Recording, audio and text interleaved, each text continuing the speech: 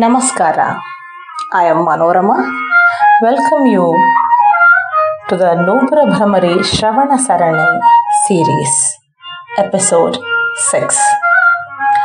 Shravana Manana Nididhyasana is a three important steps in a ladder to climb the way of knowledge and to get rid of avidya. As Bharatiya Darshana Shastra philosophy profoundly points out. Listenership is the first and foremost factor which drive towards any particular goal.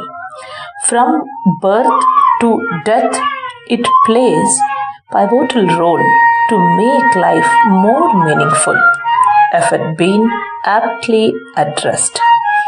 This Shravana Sarani series also aims to those areas which helps to understand the form and content of our Sanatana Parampara has discussed, but over a period of time it has been placed behind the curtains.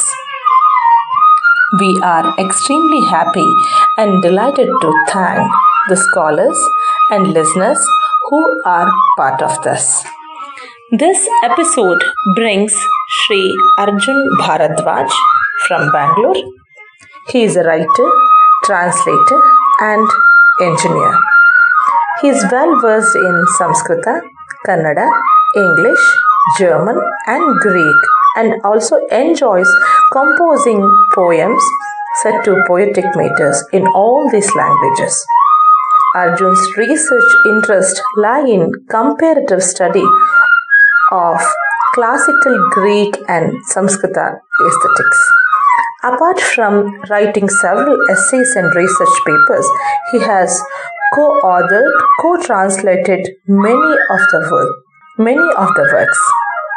He has a deep interest in classical literature, dramaturgy, dance, and music.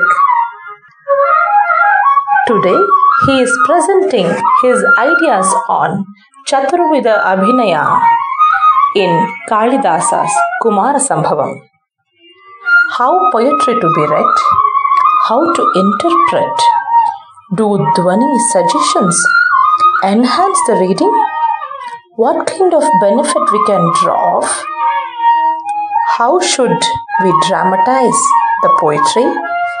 Is there the necessity of founding Chaturvidha Abhinaya in it? How it enhance the visibility in viewer? So many questions will be dealt with examples in the series with the base of world famous Samskrita Mahakavya Kumara Sambhava of Kalidasa. Now, let's welcome Sri Arjun Bharadhwaj for this series and thanks for his participation.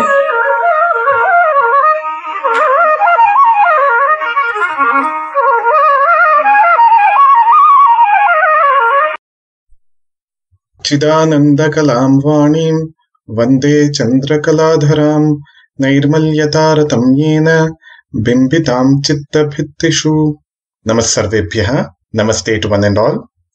At the outset I would like to thank doctor Manorama BN of Nupur Bhramari for giving me this opportunity to give a talk on the topic चतुर्विधाभिनय in the Kumarasambhavam of Kalidasa I would also like to express my heartfelt gratitude to Shatavadhani Dr. R. Ganesh, who initiated me on a holistic study of the presence of fine arts in the works of Kalidasa.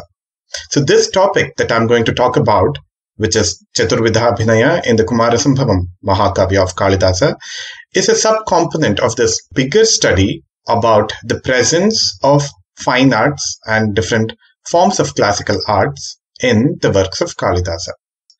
As we all know, Chaturvidhabhinaya are the four modes of communication or the four modes of abhinaya, four modes of aesthetic communication that is used in a natya. Natya means a theater art or a theatrical presentation. So the four modes of communication are defined by Bharata in his Natya Shastra. And though the definition is of Indian origin, Like I mentioned, it is defined by Bharata, but the applicability is universal. So any theater art form around the world that we take today, or of uh, the ancient times, or any movie that we see today, we can apply the concept of the Chaturvidha Abhinaya to analyze them. And even in the process of creating the movie or the theatrical uh, form, the director would have consciously or unconsciously made use of all these four elements anyway. The first one is the Aharya Abhinaya, which is the communication through at the level of costumes, through props, that is the stage properties, through lighting and other elements.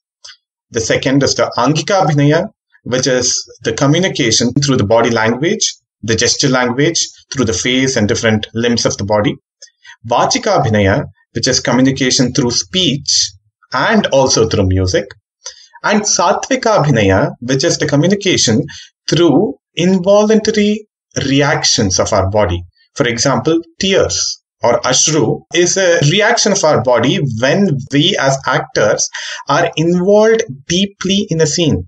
For example, if we have to display the sequence where Sita is kidnapped by Ravana, if the actor or the actress who is playing the role of Sita is intensely involved in the situation. She actually steps into the shoes of Sita. She actually understands the heart of Sita. Then she'll actually get tears in her eyes because of the pain that uh, is being inflicted upon her by Ravana.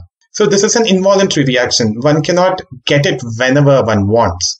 So only when a person goes deep into the character, the Satvika Abhinaya will come out. So similarly, there are other elements uh, such as romancha, or horripilation, getting goosebumps, or vivarnya, change in facial color. So when we are angry, our face may turn red.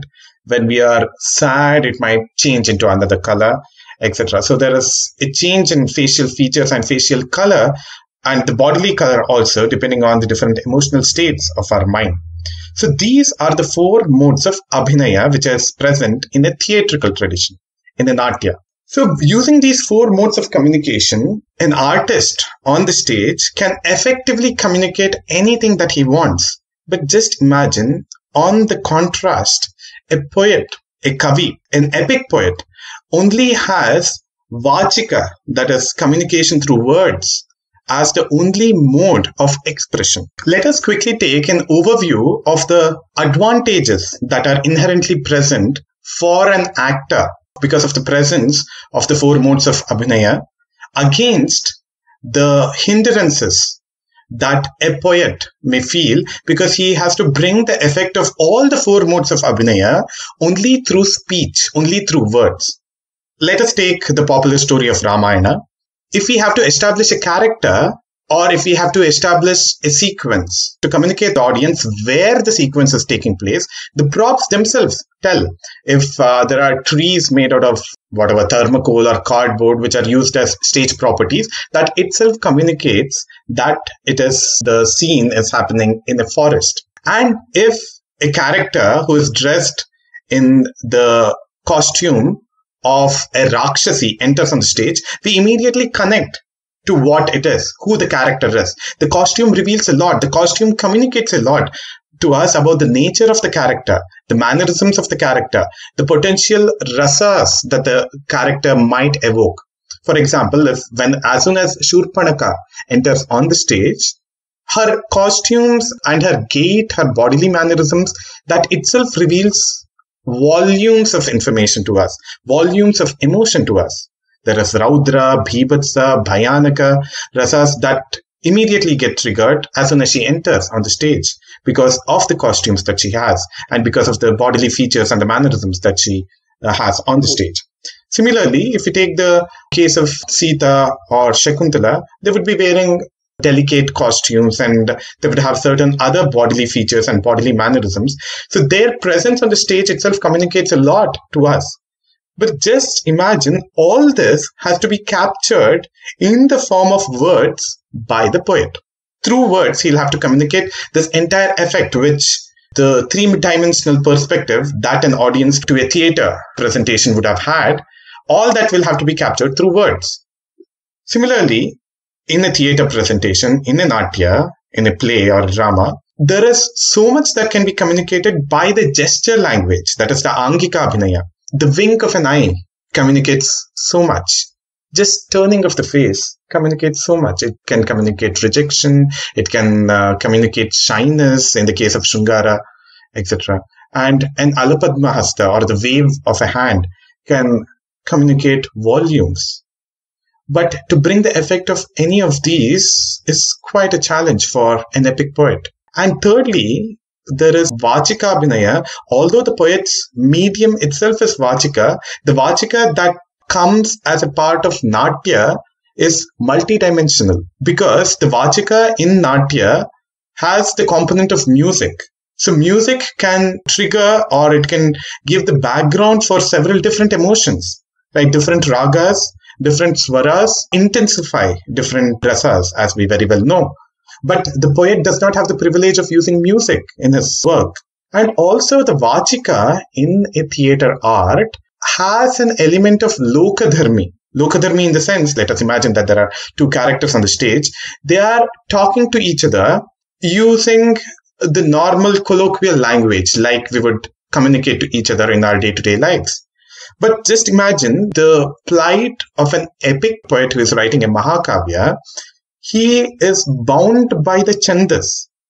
So the presence of the chandas or the metrical pattern or a versified form of expression is itself stylized. There is stylization that is inherent to a chandas.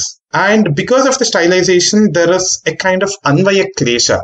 Anvaya klesha would mean roughly jumbling of words in a verse. And you would need to have a separate parsing to determine the word order and to extract the meaning. Right. So that is the epic poet's mode of expression is a stylized vachika. So he doesn't have the privilege of using music. He doesn't have the privilege of using Lokadharmi kind of Vachika. So at the outset, it appears that the poet is verily handicapped, right? Because he has chosen his medium to be this, a versified form of Vachika expression. And fourthly, the Satvika Abhinaya, which is very powerful in a theater, in a performing art, in a, in a theatrical art. Just imagine there's a character on the stage who, because of the depth of his or her involvement, sheds tears on the stage. It'll immediately capture the hearts of the audience and they would have so much of empathy, sympathy. They'll feel for the character very well. Just a couple of droplets of tears will capture the hearts of the audience immediately. But just imagine if an epic poet says that the character shed tears or a certain character in an epic novel sheds tears that's mere fact that he's stating. For it to translate into a value, as in an experiential feeling, it's very difficult for the audience of an epic poem only. But those tears, when shed by an actor on a stage, it immediately translates into an experience for the audience. So it becomes a value there. So these difficulties are faced by an epic poet. He doesn't have the four modes of expression which a person practicing Natya would naturally have.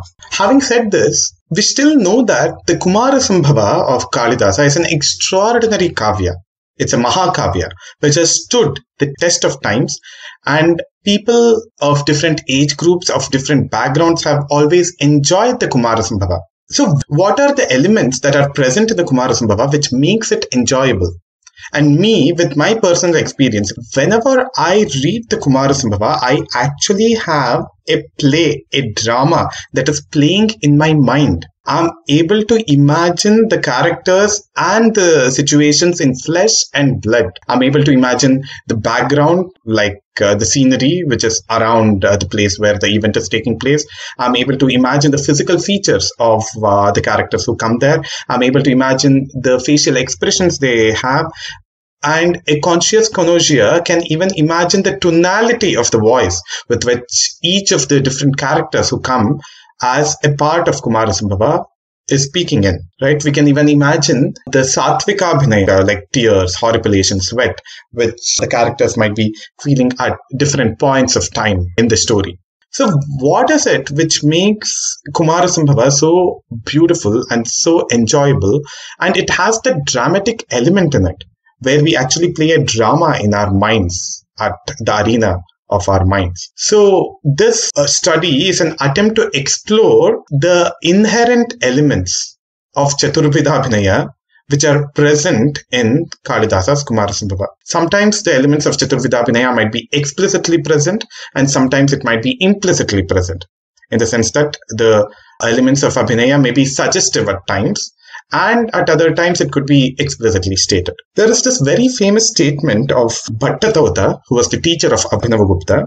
He says, Prayogatva manapanne kavye nasvada sambhavaha. It means that a poem or a kavya cannot be enjoyed if it cannot be staged unless there are elements in the kavya which make it presentable in an audio-visual medium as a natya, unless it is possible to do so, it won't be enjoyable. The aswada, the enjoyment element will be lesser. So that's what Bhattatauta says. So I don't think, in my view, that he's saying that all the kavyas should be actually put on stage. He's trying to say that every kavya should evoke that dramatic element that natyayamanata in the in the mental arena of the connoisseurs. So it should create the dramatization in the minds of the connoisseurs, and the natyayamanata should be inbuilt in the kavya. Although it's vachika is the only medium of expression in the kavya. He also says at another place, Anubhava vibhavanam varnana kavyamuchyate teshamev prayogastu natyam gitadi ranjitam. What is he saying there? When the anubhava and the vibhavas are explicitly shown, are concretely shown on the stage, they trigger the sthayi bhava and the sthayi bhava along with anubhava, vibhava and the vyabhichari bhavas can give us the experience of a rasa. So when they are explicitly staged, it becomes natya. And when they are described, when there is a varnana of anubhava and vibhava, it becomes a kavya. So what I'm trying to do here is deconstruct the kavya and to see the inherent elements of anubhava and vibhava, which are already present there. And the anubhava and vibhavas should come in the form of chaturvidha abhinaya. And all of them together trigger the element of rasa. That is what makes it ultimately enjoyable. That gives the effect of natyayamanata or dramatization in the connoisseur's mind. Philosophically, the Kumara Sambhavam is itself a story of the graduation of Parvati from the level of Aharya and Angika to the level of Satvika. It's her graduation from the level of Vachika to transcending Vachika or Vachanatita, from words to transcending words, from the level of material ornamentation and physical charm transcending graduating to the getting elevated to the level of realizing inner beauty the Satvika within her, realizing the Satvika Shiva within her, the Atma Saundarya that's within her. So it's a very philosophical epic, first of all. Similarly, there are several layers in the epic poem. Manmata, who comes with all the ornamentation, with all the aharya, the nature itself provides the Uddipana Vibhava for Manmata, the deity of love. He comes with Vasanta, he comes with Malay Maruta, he comes with Rati. So he totally equipped in the Aharya. is completely equipped in the sense of Angika. But then he gets reduced to ashes and Manmata, who was Sangha, becomes Ananga. From the level of physical love, it graduates to the level of Shringara Rasa, which is an experience which is to be had. From the level of Kama, it graduates to the level of Shringara Rasa. So it's going from the concrete to the abstract. Because this is the undercurrent of the entire Kumara Sambhavam, there are inherently the elements of Angika, Aharya, Vachika, and Satvika are present. And the very name Kumara Sambhava is meaningful. The union of Shiva and Parvati is to give rise to Kumara. It brings to our mind a statement of Kalidasa which he makes in his other epic poem, the Raghuvamsha, Prajayai Gruhamedhinam. The union of the male and the female, the Gruhastashrama, is meant for the production of good citizens, noble citizens, for the country, for the welfare of the world. So the spiritual union between Shiva and Parvati is for the material welfare of the world to give birth to this Kumara.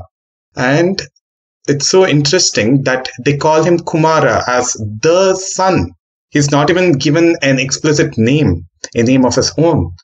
The genius of a poet that Kalidasa is, he just names him Kumara. It's also the transition of Parvati, Stavara Rajakanya, to become Uma, and then to become Shiva, a part of Shiva. Shiva, who shooed her away as uh, she was just a Stri Sannikarsha, he wanted to avoid any contact with a lady, later sees spiritual graduation that Parvati has, and he gives his own body for her to share. He himself becomes Ardhanarishwara, a lady who he had avoided, who he had shooed away in the past. Later, he makes space in his own body for her to live. Or in other words, Shiva makes his house in her body. It can be seen in either ways, Ardhanarishwara. So it's a very philosophically, creatively profound work of art. The beautiful damsel Parvati, the daughter of the rich Parvata Raja, Parvati, she does that Ugra tapas and her mother forbids her from doing that by saying Uma. And then she graduates to become Shiva, the level of Adibhuta, Adideva and Adhyatma from the level of Adibhuta, she is graduating to the level of Adhyatma. So there are several layers of meanings in the name Kumarasambhava and there is a Prabandha Dvani in the entire epic. Let me give a few samples from the Kumarasambhavam where some elements of Angikabhinaya and Satvikabhinaya are explicitly present and some other instances where they are implied where they are suggested or they are left to the imagination of the connoisseur. A couple of straightforward instances are from the Tritiya Sarga, the third Sarga of the Kumara Sambhavam. In the 41st sloka, there is a lot of commotion that we see around the place where Shiva is performing his tapas and Nandi, who is uh, supposed to be standing at the entrance of uh, Shiva's tapovana, he is annoyed with the kind of disturbance that uh, Akala Vasanta, untimely arrival of spring is creating. So he makes all people become silent just with one of his gestures, a very powerful gesture that he does, and the entire environment freezes. All the couples who were enjoying together, they all stop amidst their actions. So that is the famous verse which goes, Mukharpitaikanguli sanyayeva Machapalayeti Ganan Vyanaishit. So with just one finger on his mouth, he asked everybody to be silent. There was no Vachika, there was no Angika, and the Aharya froze. So that is what we can imagine just by this one Angika of uh, Nandi. Similarly, there are other explicit cases of Angika Abhinaya. For instance, in the Tritiya Sarga again, in the 60th verse, Nandi, he permits Parvati to enter the tapovana of Shiva just by a twitch of his eyebrow. प्रवेशयामास च भर्तुरीणां pravesham. So it's just the bhrukshepa, just raising of one eyebrow. With that, he permitted her. So one eyebrow movement communicates lot of message to Parvati. And he doesn't even speak. So we see these explicit instances of Angikabhinaya. However, there are several instances where we'll need to imagine the Angika Abhinaya. For instance, there's a verse in the sixth sarga of uh, the Kumarasambhava. There, the Saptarshis, along with Arundhati, would have gone to the palatial residence of uh, Parvata Raja and they would have gone on behalf of Shiva to ask Parvati's hand in marriage so there, when they go, Parvataraja introduces himself and his wife and daughter. So there, the Parvataraja's words are as follows. Ete vayam amidaraha kanyeyam kulajivitam.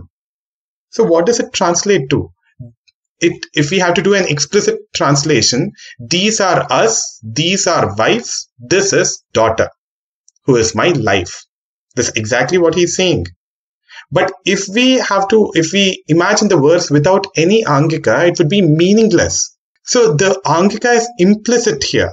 So we are, a cultured connoisseur would naturally imagine that when the Parvataraja is speaking, he would be pointing at himself when he says Ete Vayam. this is me. He's using Vayam as a royal V there. Ete Vayam, this is us, he's pointing to himself. Ami Daraha, he only has one wife, like we know, but uh, he is using the respectful plural there, and Daraha is a Nitya Bahuvachana. It's a respectful plural for wife. And so he must be pointing at her when he says Daraha. And when he says Kanyeyam Kulajivitam, he must be pointing at Parvati, who should have been standing at his side, who is next to him or slightly behind him. So Kalidasa uh, gives so much of space for the connoisseur to imagine what's actually going on there. However, if this were to come as a part of a Natya, when everything is explicitly shown, there's not much scope for the connoisseur to imagine. Here in a kavya, because of the elements of suggestivity that comes through, as per his own culturing of mind, as per his own samskaras, the connoisseur can have different kinds of imagine the aharya, the angika, the vachika, satvika, as per his own background. Nairmalya taratamyena bimbitam chittabhittishu. So this is exact line from the shloka that I recited at the beginning of this uh, presentation. Depending on how clean, how clear our mental canvases are, how nicely made our mental arena is, that clearly we'll be able to imagine the situations, the emotions, and the characters in our mental plane. Let me now take a couple of instances which suggest Satvika and Angika Abhinaya.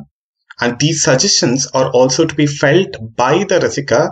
So, in the second sarga of the Kumara Sambhava, the Devatas go to Brahma seeking help. They are being troubled by Tarakasura and they are in a lot of agony and they want to ask Brahma for a solution.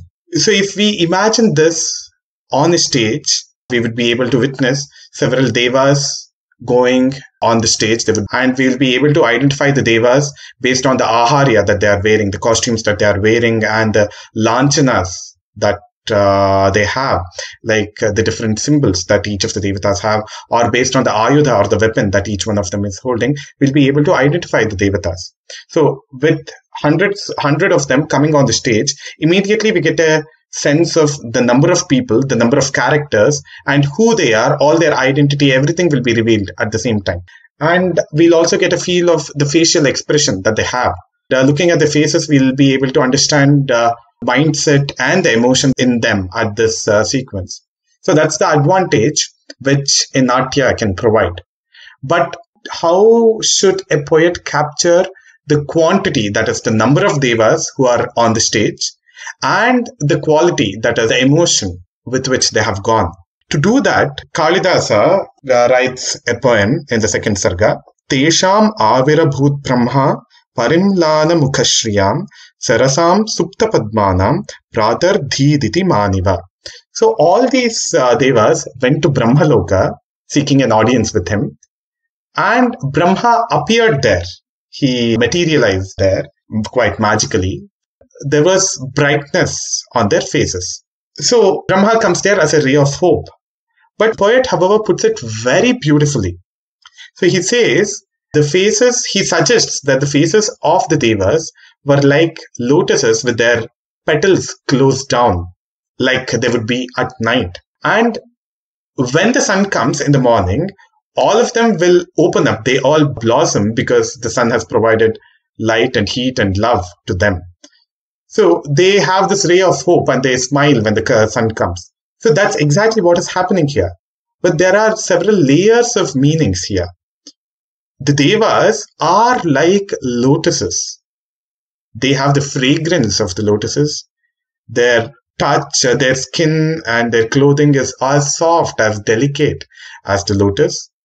And just as a lotus at night, when it has closed its petals, according to most uh, poetic conventions, and also as we see in nature, there are dew drops on the petals of the lotus when they are uh, when the petals are closed down. So we can even imagine that these dewdrops are like the tears on the faces of the devas, or it could even be perspiration because of sweat, because they are all scared of uh, Tarakasura. So it's either due to fear that they have sweat or due to pain that they have tears in their eyes. Though the poet does not explicitly say this, it would not beat the aesthetics of the poem if a conscious connoisseur extracts these layers of meanings behind this imagery. So the devas are delicate like the lotuses. They are fragrant people. They are full of fragrance. But now all their brightness has uh, gone down. They have all closed their faces. They had become dull. But with Brahma appearing there, they all have a pained smile probably on their faces because Brahma comes as a ray of hope and there is some hope, but still the pain is not permanently gone. So we can imagine all these layers of meanings. And when he says Sarasam Supta Padmanam, that actually gives us a kind of feel about the number of devas who have gone there and the feeling with which they have gone. What is the emotion that's present on their face? How the coming of Brahma would have uh, rekindled their hope. All that is left to the imagination of a connoisseur. And then one after the other, Brahma starts observing one deva after the other and he recognizes that there is something seriously wrong with all of them. He looks at uh, Indra, it's not just Indra who is dull, but even his Vajrayudha has become dull. So there is this superimposition of Satvika Abhinaya on an element of Aharya. So Vajrayudha is also personified here, as though it has a feeling. So the brilliance that Vajrayudha is supposed to have, the lightning, the bolt of lightning, which is supposed to strike down enemies, and the seven colored rainbow, which it usually used to, used to create, that is also gone and it has turned grey. Brahma uh, sees Indra and observes this. So the Kshatra protection which the Vajrayudha was supposed to give, that is not there. And also the seven colored rainbow, the colors of life that Indra was supposed to give to the world, even that is gone. The entire world has become grey. So that's what uh, he is saying there. Brahma observes that. So in the second verse, which I mentioned before this, Sarasam Supta Padmana, there the poet is uh, describing uh, the Devas and uh, the appearance of Brahma. There, Kavi Praudhokti is acting. When Brahma himself speaks, the poet is using Kavi Nibaddha Praudhokti. He's making a character of his creation speak. So in both the ways, in Kavi Praudhokti and in Kavi Nibaddha Praudhokti, Kalidasa is bringing the elements of the four Abhinayas we go ahead and uh, we see that Brahma looks at Varuna. His Pasha, which is supposed to kill the enemy, is supposed to regulate the world order. So he is uh, to maintain the Ruta, the cosmic order of the world. That looks like a dead snake. So there is this Rajju Sarpa. So the noose itself, the Pasha itself that Varuna is carrying, that itself has lost its strength. So it's like a dead snake without any poison.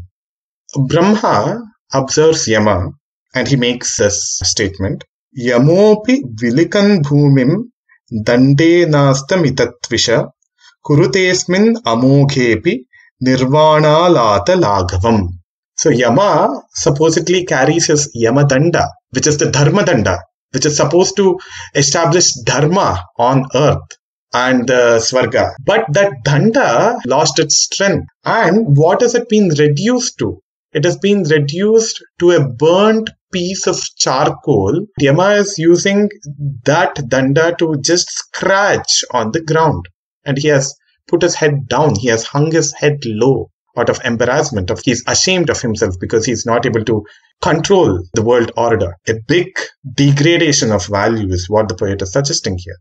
So he has superimposed the Satvika element on an element of Aharya. We can imagine the facial expression that Yama might have had with his head hung low, he might have got tears. He might have got sweat on his face because Brahma, who is the master, is going to question Yama now. Why are things out of control? So he might be scared of being questioned. The dhwani is left to the connoisseur's imagination. However, if this had come in an Natya, we would have explicitly seen the expression on uh, Yama's face and uh, uh, his body language. So our imagination would have been limited to what is actually shown on the stage. But in the kavya, it is triggering layers of imagination, layers of dhwani. And again, as per the culturing of the mind that the connoisseur has, he'll be able to imagine different layers of meaning. And lastly, we'll go to one famous verse, again from the second Sarga, Brahma finally asks Indra what is the problem. Indra looks at his teacher, Bruhaspati, who has come with them. Bruhaspati is, after all, Vachaspati. He's the lord of Vachika. He's the one who has mastered speech. So, whatever the problem the Devas have, it's only Vachaspati, the uh, speech master, who can report it to Brahma. To describe that situation, Indra requesting the Devaguru Brihaspati to spell out their problem. Kalidasa uses the following words. Tato manda nilodhuta kamalakara shobhina gurum netra sahasrena nudayamasa vasavaha. So with so much of alliteration here, especially in the last line, we see that it's a soft and delicate thing that the poet is indicating. Indra, according to the Puranas, has thousand eyes. And all the thousand eyes slowly turned towards Bruhaspati. So it was like a cool breeze blowing over a pond full of lotuses, a pond full of thousand lotuses. So the eyes of Indra are like lotuses, and all of them at the same time they turn towards Bruhaspati. So how difficult this would be to bring through Natya. Poet has so easily captured it through words. All the thousand eyes at one time pointing, looking at Bruhaspati. So this would have been almost impossible in Natya. In contrast, when Indra calls Manmatha to give him an order to make sure that Shiva and Parvati unite together. There, Sahasramakshnam Yugapat Papata. There's a contrast in the way the poet uses. There, Indra is the master and uh, Manmata is the servant who has come. In that instance, the poet says that the hundred eyes of Indra at the same time fell on Manmata. The master's glance can always be heavy when he is giving instructions or commands to a servant. But when he has to address a person who is superior to him, here Bruhaspati is superior to Indra in a sense. So he'll slowly turn his eyes towards Bruhaspati and with his eyes he'll instigate Bruhaspati to tell. So we can imagine all the Netra Abhinaya, all the facial expressions that Indra might have had in the two different instances. One while he's requesting Bruhaspati, and the other when he's commanding Manmata. To bring the effect, this kind of effect of thousand eyes is almost impossible through Natya. With this, I would like to conclude. Thank you all for your kind hearing.